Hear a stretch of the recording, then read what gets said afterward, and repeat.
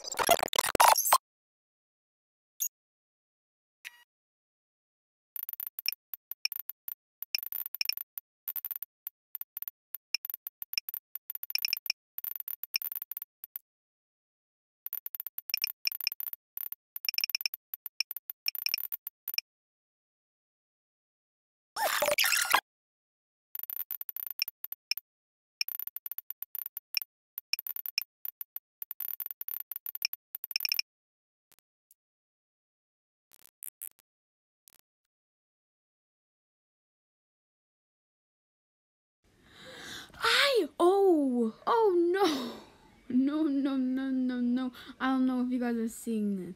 William Afton control soft William William Afton and then William Afton X Michael Afton. No.